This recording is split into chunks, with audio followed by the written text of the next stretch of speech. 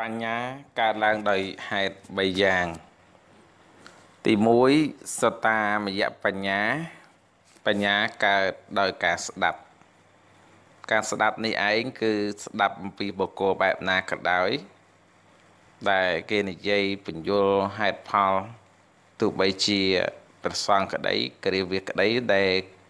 ចេះខាងអនាចក្រចេះខាងពុទ្ធចក្រ ផ្លូវលោកផ្លូវធម៌ពេលដែលយើងស្ដាប់ទៅគឺយើងបានចេះនឹងគឺបញ្ញាកើតដោយការស្ដាប់សំបីតែមនុស្សអត់ចេះអក្សរក៏អាចស្ដាប់បានដែរនឹងគឺបញ្ញាកើតដោយការស្ដាប់ហើយស្ដាប់នេះពិសេសណាស់ក្នុងសម័យពុទ្ធកាលអាចសម្រេចនៅ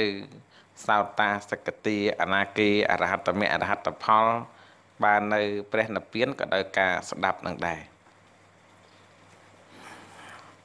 ទេវតាទាំងឡាយស្ដាប់ពធរបស់ព្រះអង្គក៏បានសម្រេចរួចផុតទុក្ខមនុស្សដូចជាអង្គុលិមាដែលធ្លាប់ធ្វើបាបសម្រាប់មនុស្សរាប់ពាន់នាក់នោះក៏កែប្រែពីការបៀតបៀនសម្រាប់សត្វហើយមកបួសជាភិក្ខុប្រណិប័តធម៌វិន័យបានល្អក៏ដោយសារការស្ដាប់ទាំងដែរអញ្ចឹងការស្ដាប់មានប្រយោជន៍សំខាន់ណាស់ទី2គឺបញ្ញា កើតទៅដោយការគិតទៅហៅថាចន្តាមយៈបញ្ញា បញ្ញាកើតឡើងដោយការគិត ដូចជាសមេធបណ្ឌិត ដែលលោកបានគិតថា ធម្មតាសុខមានទុក្ខក៏មាន ធម្មតាជាតិមានធម៌ជាគ្រឿងរំលត់នៃជាតិក៏មានណាធម្មតានឹងសរសើរមាន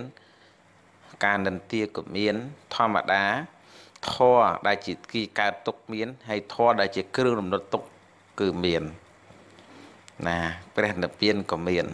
អញ្ចឹងសមេធបណ្ឌិត ដែលបានគិតឃើញដូច្នេះគេលោកហៅថាចិន្តាមយៈបញ្ញា បញ្ញាកើតដោយការគិតពិចារណាសពរឿងរ៉ាវទាំងអស់ទី3បញ្ញាកើត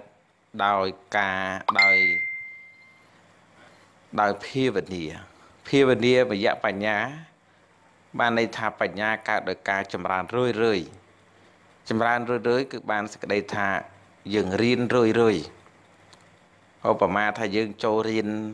ពីថ្នាក់ទី1ថ្នាក់ទី2ថ្នាក់ទី3ថ្នាក់ទី4រហូតទៅដល់ឌីប្លូមរហូតដល់បាក់ឌុបរហូតទៅដល់សាកលវិទ្យាល័យបរិញ្ញាបណ្ឌិត គឺដោយសារយើងរៀនរឿយរឿយរៀនមិនឈប់រៀនជារៀងរាល់ថ្ងៃរៀនជារៀងរាល់ខែដល់រៀនយូរយូរទៅចម្រើននៅបញ្ញា ឬក៏យើងឧស្សាហ៍ទន្ទិញដូចជាមេលេខដែលយើងសូត្រពីម្ដងពីរជាដើមយើងឧស្សាហ៍សូត្រយើងឧស្សាហ៍ទន្ទិញយើងឧស្សាហ៍រំលឹកលោកហៅថាភាវនាមយៈបញ្ញាកើតដោយការឧស្សាហ៍សូត្រទន្ទិញដូចជាប្រសង់លោកកសាឧស្សាហ៍សូត្រធរប្រជុំធរ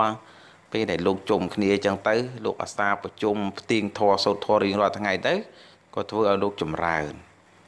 នៅភាវនាមយៈហ្នឹងគឺថាមិនដែលបោះបង់ចោលតែងស្វាត់ជាជារៀងរាល់ថ្ងៃមួយទៀតហ្នឹងគឺឧស្សាហ៍គិតដោយបុណ្យកុសលបុណ្យកុសលដែលយើងបានធ្វើហើយយើងឧស្សាហ៍ចម្រើនឧស្សាហ៍រំលឹកឧស្សាហ៍ញ៉ាំងចេតនាឲ្យចៅឲ្យច្រើនឡើងរាល់ថ្ងៃថ្ងៃហ្នឹងក៏គិតរឿងបុណ្យ កុសលក្នុងអំពើល្អស្អែកឡើងក៏គិតងាយឡើងក៏គិតស្អែកឡើងក៏គិតគិតយូរយូរទៅនៅក្នុងសេចក្តីល្អនេះចម្រើនសេចក្តីល្អហ្នឹងគឺថារមែងចម្រើនបុណ្យរាល់ថ្ងៃបើយើងអត់ដែលគិតសោះក៏វាមិនដែលបានដែរបើយើងនិយាយចំថាឧស្សាហ៍រំលឹកបុណ្យកុសលខ្ញុំបានធ្វើទានខ្ញុំបានស្ដាប់ធម៌ខ្ញុំបានថ្វាយអង្គមប្រសង់ កាលណាដែលយើងនឹកចឹងទៅសេចក្តីជ្រះថ្លារបស់យើងកើតមានចំពោះសេចក្តីល្អដែលយើងបានធ្វើនោះក៏បុណ្យនោះចម្រើនរាល់រាល់ថ្ងៃនឹងលោកហៅថាភាវនាមយៈបញ្ញា បញ្ញាកើតដោយឧស្សាហ៍រំលឹកឧស្សាហ៍ទន្ទិញស្វាត់ជាបញ្ញាទាំង3នេះសុទ្ធតែសំខាន់ទាំងអស់ណាសំខាន់ទាំងអស់ក្នុងមនុស្សម្នាក់គឺត្រូវតែមានបញ្ញាទាំង3ហ្នឹងគាត់ថាតិចនិងច្រើនតែប៉ុណ្្នឹង ណាបញ្ញាកើតដោយការស្ដាប់បញ្ញាកើតដោយការគិត និងបញ្ញាកើតដោយសារទន្ទិញស្វាត់ជាយឧស្សាហ៍រំលឹកណាឧស្សាហ៍ស្វាត់ជាយជារៀងរាល់ថ្ងៃអញ្ចឹង